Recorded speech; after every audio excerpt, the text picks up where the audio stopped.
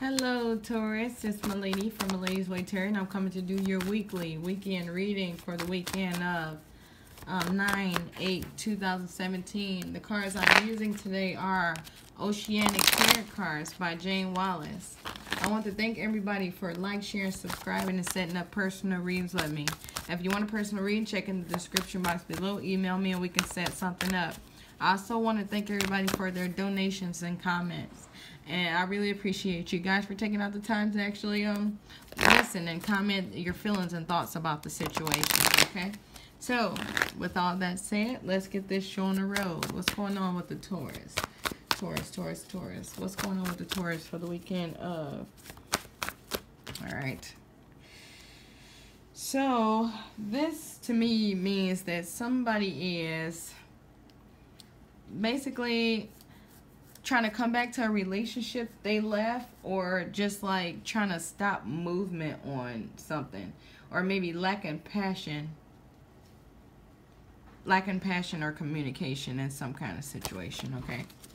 Mm-hmm. Lacking passion in a relationship. All right what's going on?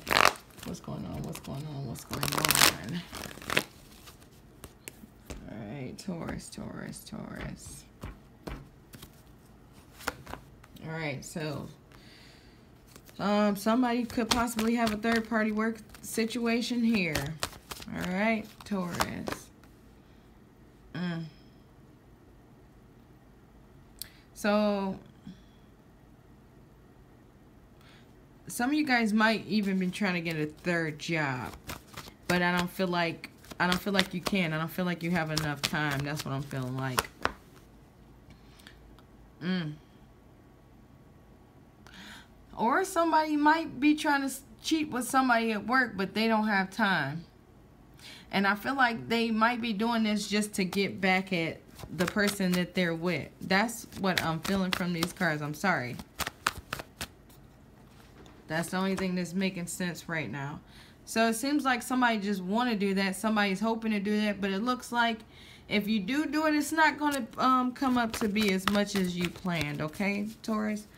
All right, what's going on for the Taurus? Taurus, Taurus, 9, 8, 9, 8, 9, 8, 2017. All right, yeah. So like I said, somebody's uh, doing this because somebody broke their heart and they're trying to get over it. So with getting over it, they're going to sleep with somebody else thinking it's going to make them feel better, but it's not. Mm. Mm -mm.